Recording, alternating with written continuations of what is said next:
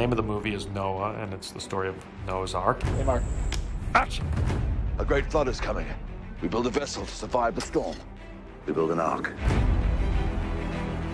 There was a huge issue of what is this ark going to look like. The idea was let's go back to what God tells Noah in the Bible.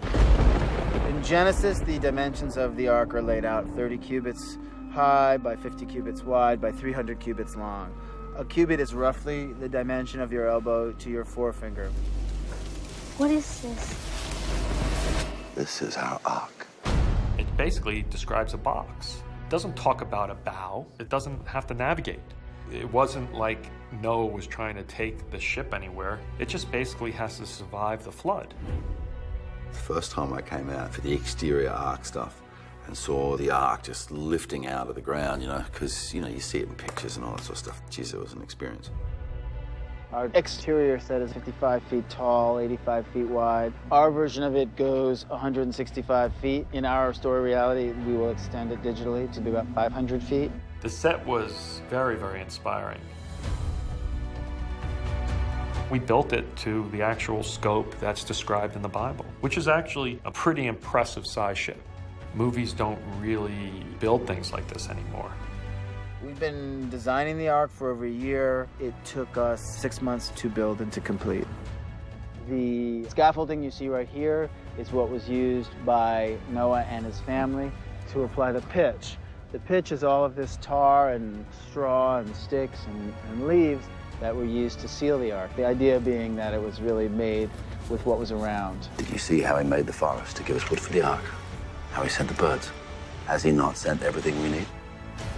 At the bottom of the ark, we have our ballast. This ballast goes down another 15 feet. The ballast is volcanic rock to keep it from rolling around in the ocean. The ramp was there to serve one function, for reptiles to be able to get up there, for mammals to be able to get in here, and birds to fly up to the top.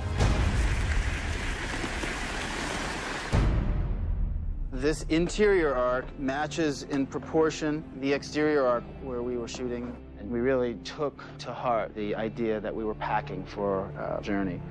Uh, whatever stores, whatever tools, whatever bits of technology were available to our family got put into this ark. All of us should be inside by now. The storm is coming. I wanted very much this ark to be an act of desperation.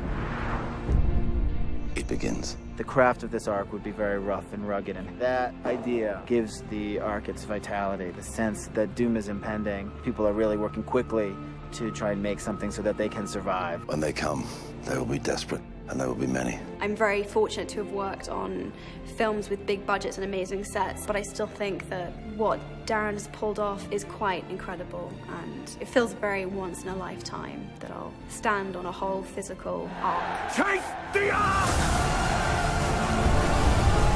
It's a great adventure story and a great drama about surviving in impossible times. What do you think it'll be like? The end of everything. The beginning.